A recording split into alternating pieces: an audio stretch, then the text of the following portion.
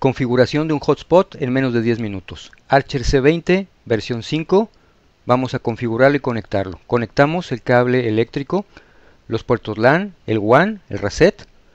Conectamos el cable, el amarillo viene de nuestro proveedor de internet, lo enchufamos, encendemos el equipo y esperamos a que enciendan los tres foquitos LED necesarios para su correcta operación. El foquito LED a la extrema derecha indica que ya estableció contacto con el modem o router de nuestro proveedor de internet y estamos listos para configurarlo desde el celular. Vamos a ello. Vamos a entrar a la red abierta compra wifi tienda a la esquina como lo haría cualquiera de nuestros clientes. Nos va a mostrar los tres anuncios preconfigurados y nos va a marcar un error porque el equipo aún no se encuentra activado. Vamos a ver el error después del tercer anuncio. Ahí está. Vamos a configurarlo. Vamos a registrar el equipo para quitar el error.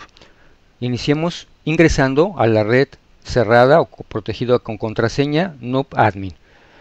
La contraseña por default, que les recomiendo la cambien, es NubNetAdmin. Todo en minúscula.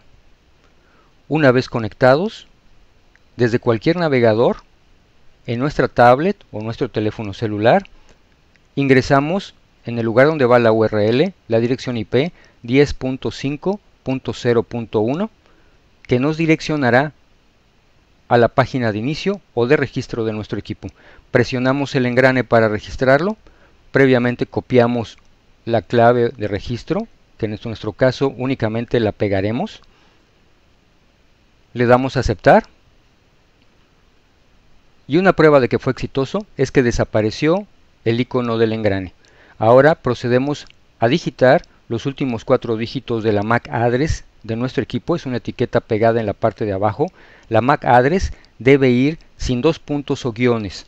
Las letras deben ir forzosamente en mayúscula, recuérdenlo. Y nos lleva al reporte de ventas. Le hacemos clic en este caso al botón de herramientas. Nos lleva a esta segunda pantalla de seguridad. La contraseña por default es Nubnet. Les recomiendo altamente que la cambien. Y le damos entrar. Estamos entrando a la configuración que nos permite hacer múltiples cambios, por eso la doble seguridad. Entre ellas, crear las fichas, ver el estatus de nuestras fichas, pero ahorita le vamos a dar clic en el botón de herramientas. Esta es la configuración general a la cual regresaremos en un momento. Hacemos clic en el botón de imágenes y empezaremos a cargar el logotipo. Previamente esas imágenes las tengo cargadas en mi celular. Seleccionamos desde mi archivo, cargado en mi celular el logotipo, ya está seleccionado, le damos guardar. Se cargan adecuadamente las imágenes, nos indica. Y empezamos con el anuncio número 1. Las imágenes forzosamente tienen que estar en formato JPG. Seleccionamos ahora el disco duro y guardamos. Nos vamos ahora a seleccionar el anuncio número 2 y buscamos la imagen que sería un teclado y le damos guardar. La imagen no puede ser mayor a 40K, recuérdenlo, o el sistema marcará un error. Seleccionamos el anuncio 3, el monitor. Ups, lo seleccioné mal. Bueno, es depende del celular y su aplicación. Vamos a intentarlo una vez más. No se dejó. Vamos a hacerlo una vez más. Listo. Le damos guardar.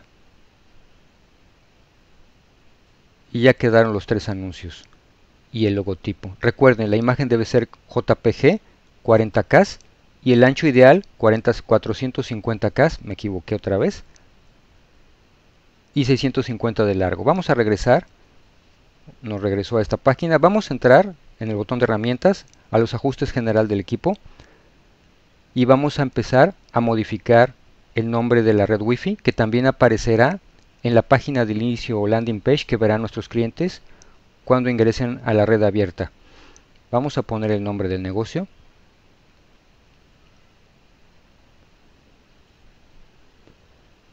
la opción de vendes wifi o no implica que aparezcan o no aparezcan los precios. En nuestro caso queremos que nuestros clientes sepan nuestros precios y que vendemos wifi. Los anuncios pues son los que acabamos de cargar las imágenes. Si le ponemos que no, pues no se mostrarán y entrará directamente a la página de los precios. En nuestro caso le vamos a poner dos anuncios y dos segundos está bien. Las promociones es otro anuncio que dejaremos para después y a la parte que más le gusta a muchos de nuestros clientes, los precios. Vamos a modificar los precios a nuestro gusto, uno por uno.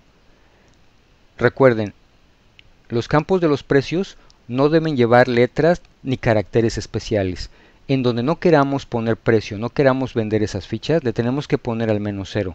Es muy importante eso o les marcará un error el sistema.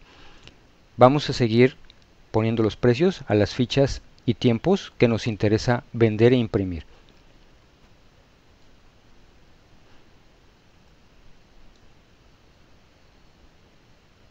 Listo. Las opciones de red son automáticas y normalmente funcionan con cualquier router o modem de cualquier proveedor de internet, incluyendo el satelital, Easy, Telmex. Así lo vamos a dejar por el momento.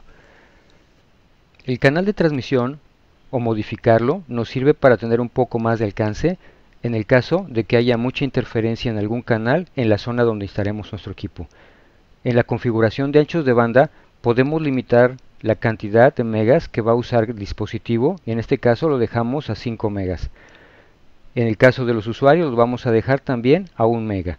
Esto impedirá que algún usuario acapare todo el ancho de banda de que disponemos, dejando a los demás sin internet. Vamos a darle guardar y reiniciar y hemos terminado la configuración básica. Ahora vamos a ingresar nuevamente a la red de administración Admin con miras a generar las fichas y a imprimirlas. Nos conectamos a la red de administración Admin y digitamos en cualquier navegador la IP 10.5.0.1 que nos lleva a la ventana de inicio donde ponemos la MAC address, los últimos cuatro dígitos de la MAC address en mayúsculas sin dos puntos ni guiones que nos redirecciona a la página del reporte básico de ventas. Le hacemos clic en el botón de engrane y nuevamente digitamos nuestra contraseña personalizable que no lo hemos hecho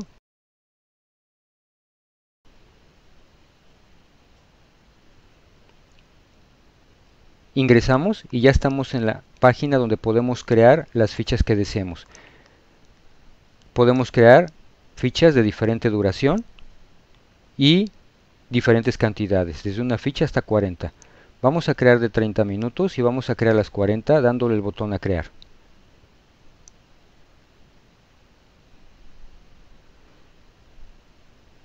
Genera las fichas del sistema y ya tenemos 30 fichas de 40 minutos nuevas listas para imprimir. Vamos a hacerle clic al botón de la impresora y nos pregunta qué fichas deseamos imprimir.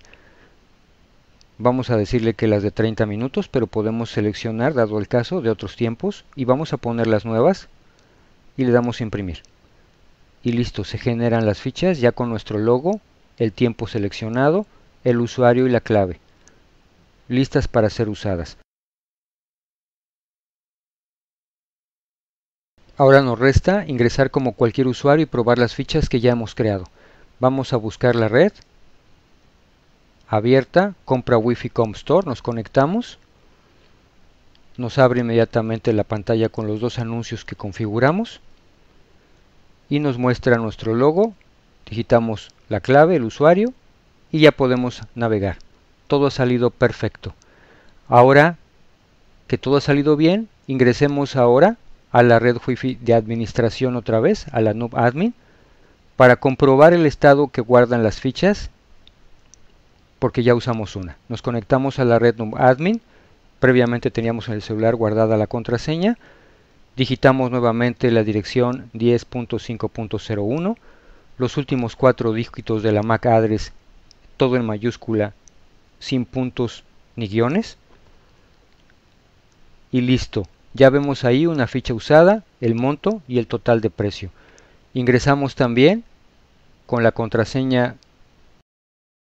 al reporte de ventas y ahí vemos que hay una ficha usada y la venta total.